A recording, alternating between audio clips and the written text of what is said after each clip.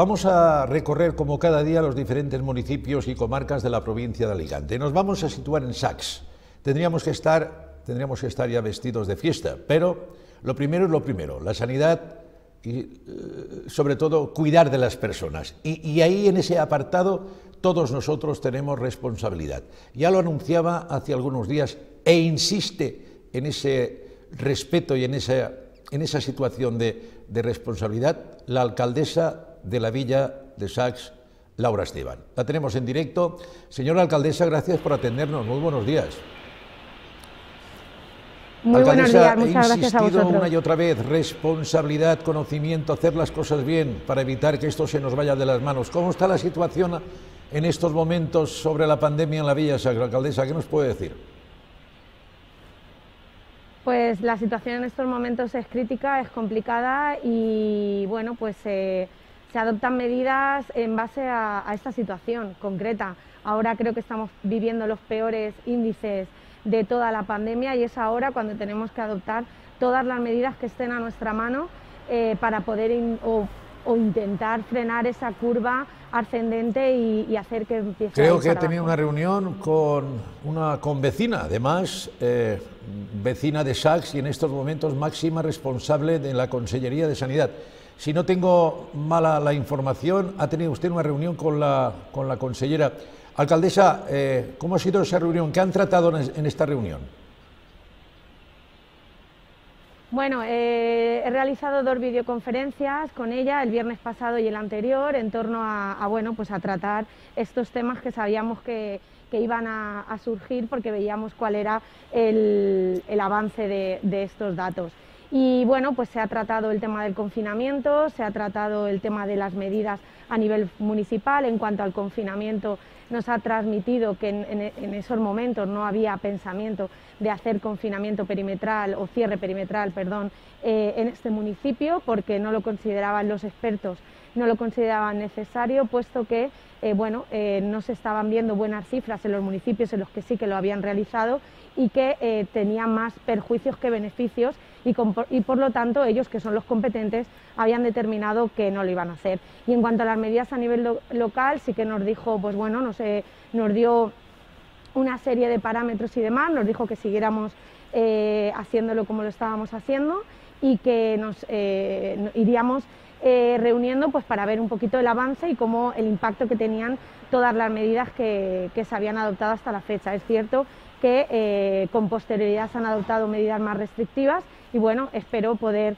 eh, ver que, vamos bajando y poder valorar con ella en una futura videoconferencia que en SACS hemos bajado y que esas medidas sí que han surtido. Bueno, pues una, alcaldesa como todos y, y tantos con los que hemos tenido la oportunidad de hablar, preocupada preocupada. Alcaldesa, ese llamamiento que ahora le daré la oportunidad para que usted lance a los vecinos y vecinas de Sax, eh, según todos los expertos, eh, el mayor número de contagios se produce en reuniones sociales y familiares. ¿Hay que tener mucho cuidado con este tipo de reuniones, alcaldesa? Sí, de hecho, bueno, los expertos, que son los que saben de esto, es lo que nos transmiten, que el mayor índice de, contagios está siendo en las reuniones sociales. Por eso, una de las medidas decretadas por la Consellería ha sido el cierre de cuartelillos y sedes festeras, porque se entiende que son sitios donde se reúne la gente y, bueno, pues al final eh, la gente se relaja, que es lo que pasa, y, se, se incumplen determinadas normas como es el uso de mascarilla y el distanciamiento de las personas y eso es lo que ha traído, según los expertos, este índice tan alto de contagios. Entonces, bueno, pues desde este ayuntamiento además tenemos el soporte legal de una ordenanza municipal que nos permite que no se abran esos cuartelillos y además tenemos el decreto de la Consellería que nos Alcaldesa, confírmeme, cancelado el mercadillo de los lunes y un programa de promoción escolar que se va a celebrar en el centro social en la Villa de Sax. Sí, a ver, las últimas medidas que nos faltaban por adoptar era el cierre de, del mercadillo y la suspensión de este programa a nivel presencial.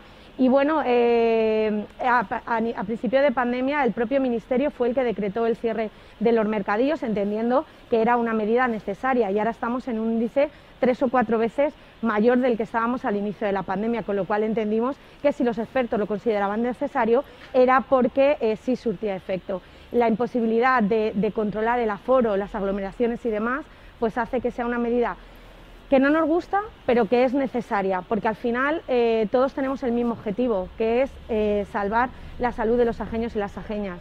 Y entiendo que cuando uno gobierna, pues tiene que adoptar decisiones que si no son las más populares ni las que nos gustaría adoptar, pero por responsabilidad. Y además, de verdad, subrayo esa palabra, responsabilidad. Gobernar es decidir y a veces es complicado, pero hay que hacerlo porque primero las personas. Alcaldesa, tendríamos que estar ya preparando la fiesta este año por responsabilidad y eso lo tiene que entender todo el mundo. Vamos a tener que esperar al año que viene, ¿no?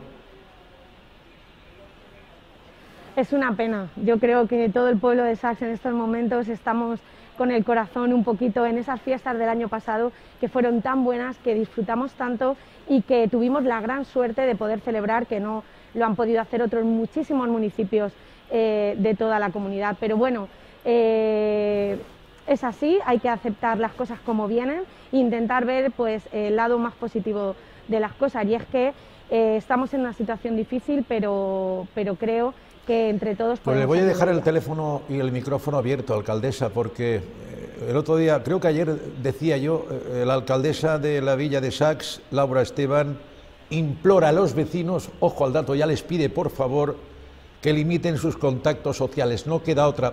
Alcaldesa, ahora tenemos la oportunidad. El micrófono está abierto. ¿Qué le diría usted a sus vecinos sajeñas y sajeños, alcaldesa? Pues yo les digo que estamos en una situación difícil, pero que vamos a salir de esta. Vamos a salir de esta todos juntos, como siempre lo hemos hecho.